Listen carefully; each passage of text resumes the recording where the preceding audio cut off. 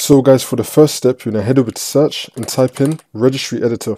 Click on it and then click on yes. And then once you run this, you can follow everything I'll be doing up here.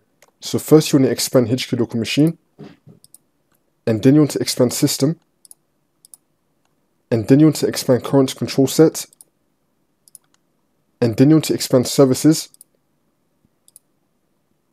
and now you want to expand SCARD SVR. You want to scroll down till you find it. Where is it? Let's see.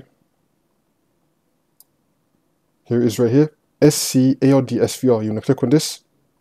And now this will appear on the right side. And now once you're on this, you want to find start. You want to double click on start.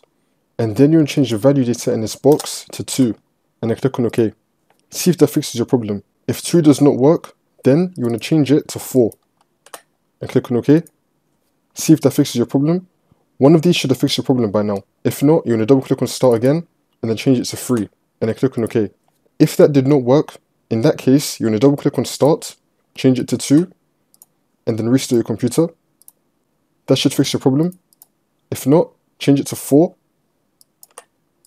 restart your computer. That should fix your problem. And if not, change it to 3 and restart your computer. Now, one of these things I just showed you right now should definitely fix your problem.